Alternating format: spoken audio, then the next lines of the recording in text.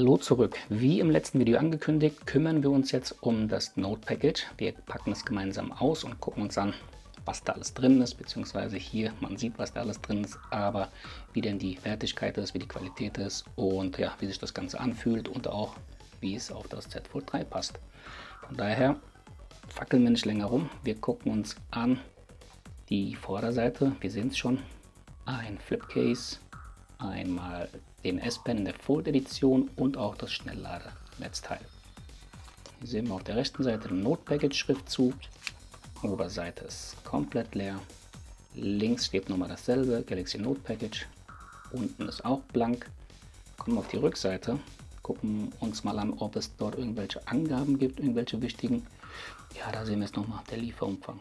Flipcover with Pen, Flipcover made in Korea, S-Pen made in China. Oh, okay. Dann haben wir hier noch den 25 Watt Travel Adapter. Also Schnellladen mit 25 Watt. Ist in Ordnung. Unten Siegel, oben Siegel. Das brauche ich nicht durchschneiden. Das ist von alleine ab. Das hier können wir durchschneiden. Wir haben drei Siegel. Na, machen wir es hier oben auf. Ziehen den Inhalt raus. Gut. Verpackung ist leer, kann beiseite.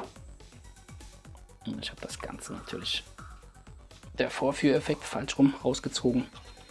Aber da haben wir es. Also ganz, ganz simple Sache, dieses Unboxing-Video. Hier haben wir das Netzteil. Nennt sich Super Fast Charging. Super Fast Charging mit 25 Watt. Hahaha. Ha, ha. Okay der Rückseite. Da haben wir es. Da ist die Angabe 15 Watt. Und was ich auch immer cool finde an diesen Netzteilen ist, dass hier die Datumsangabe ist. Also wann wurde es hergestellt? 26. Äh, 29.06.21. Das ist schön. Also für alle Vorbesteller, wir haben einen super Fast Charger dabei, denn der fehlt ja in der Original, im Original Lieferumfang beim Z Fold 3. Dann haben wir jetzt nur noch hier das Flipcover. Das nehmen wir jetzt raus. Und dann haben wir hier nur noch eine kleine, klein gefaltete Gebrauchsanweisung. Da schauen wir jetzt auch mal rein, denn ich habe in all den anderen Videos eine Angabe gesehen. Die ist jetzt aber hier nicht enthalten. Deswegen kann es weg. Das kann auch weg. Und da haben wir das Flipcover. Guckt euch mal die Struktur an. In schwarz. Ja, fühlt sich wie Fake Leder an. Fake Leather. Ja, es fühlt sich, fühlt sich gut an. Also ist jetzt nicht wie Plastik oder. Ja, das ist hier. Das fühlt sich wie Silikon an. Hier. Aber es ist weich. Also nichts, kein, kein Hartplastik. Das ist schon mal gut. Wir sehen es, die Unterseite vom Gerät wird dann geschützt. Da haben wir den Pen. Fold Edition. Gut, klappen wir das Ganze mal auf. Das ist es, das habe ich nämlich gesucht. Entnehmen das Ganze mal. Cool, das sind hier die Tipps für den S-Pen. Plus Greifzange, um quasi die Spitzen dann vom S-Pen rausziehen zu können. Und hier haben wir Ersatzpins. Das ist cool, sehr schön. Und ansonsten haben wir hier nur noch die Anleitung, die für mich wichtig ist. Okay, da will ich euch nämlich was zeigen. Das ist ja simpel, also das, die zwei oberen Bilder zeigen uns nur, wie das Z Fold 3 eingesetzt werden muss, aber hier müssen wir darauf achten, wie der Stift in die Hülse reingesteckt wird, also mit der Spitze nach unten und nicht verkehrt herum. Ganz wichtig. Und dann haben wir noch eine wichtige Angabe. Wo befindet sie sich denn? Schauen wir mal. Hier nicht. Da. Da haben wir es. Jetzt sehen wir es hier, dass wir den Stift mitsamt der Hülse nach oben hin wegziehen können.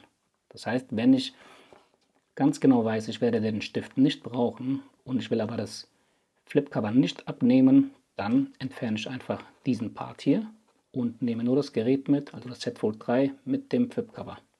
Das ist gut. Das werden wir jetzt auch ausprobieren. So, wir gucken uns mal das Innenleben des Flipcovers an.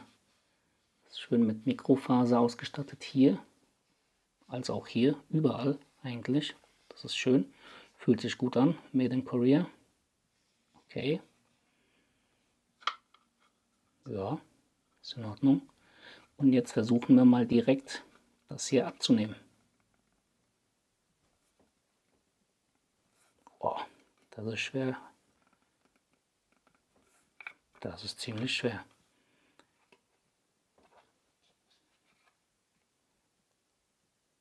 Ja, jetzt. Mit der gewissen Kraft geht das auch. Einmal zack. So sieht das Ganze dann aus.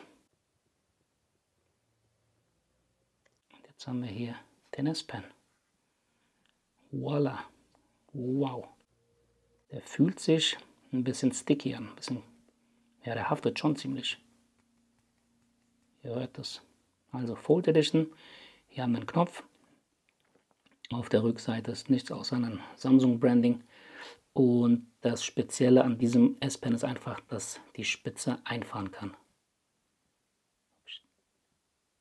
Ob ich euch das jetzt zeigen kann, ist. Genau, die fährt dann ein. Bei zu viel Druck fährt sie ein, um einfach das innere Display nicht zu beschädigen. Gut, dann mal rein mit dir. Rausfallen tut der ganz bestimmt nicht. Sehr schön. Dann würde ich sagen, setzen wir das Z Fold 3 mal in die Hülle, in das Flipcover. Oh, wow.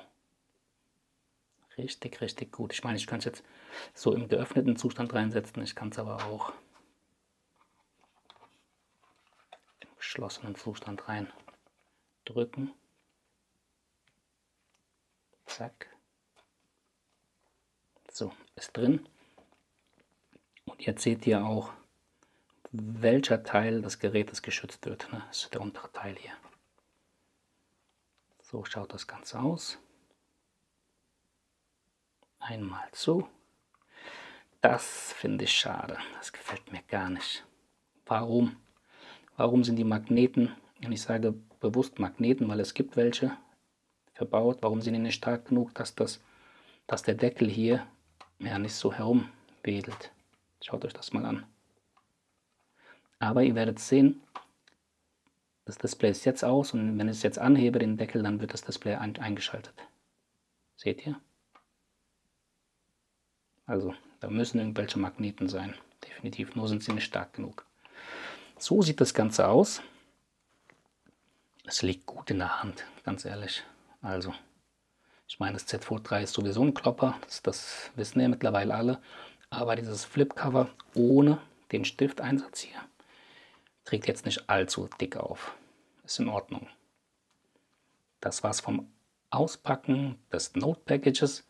Im nächsten Video vergleichen wir das Z Fold 3 mit dem Z Fold 2. Wir machen einen Größenvergleich und gucken uns auch die Unterschiede an. Dazu klickt bitte auf diese Karte. Dann würde ich sagen, bis zum nächsten Video. Bis gleich. Ciao.